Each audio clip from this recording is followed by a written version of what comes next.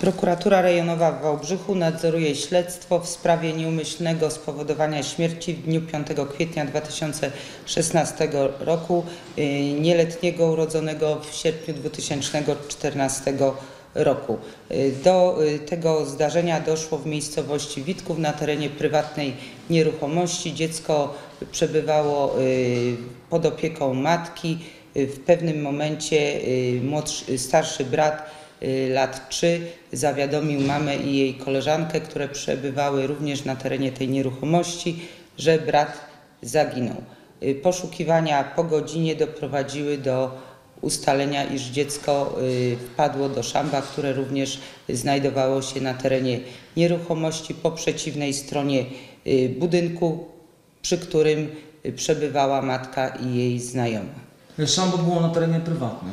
Szambo było na terenie prywatnym, y, przykryte deskami, y, nie było y, zabezpieczone, wydaje się, w taki sposób, bo spowodowało to, że dziecko wpadło do szamba i utonęło. W dniu dzisiejszym y, zostanie przeprowadzona sekcja zwłok.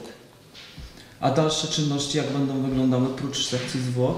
Y, No, na miejscu zdarzenia był prokurator, y, przeprowadzono y, oględziny miejsca zdarzenia, y, będzie przeprowadzona sekcja zwłok, no i będą trwały czynności procesowe y, zmierzające do ustalenia wszystkich okoliczności zdarzenia i ewentualnie postawienia y, zarzutów osobie, która mogła przyczynić się bądź narazić dziecko na taki skutek w postaci śmierci.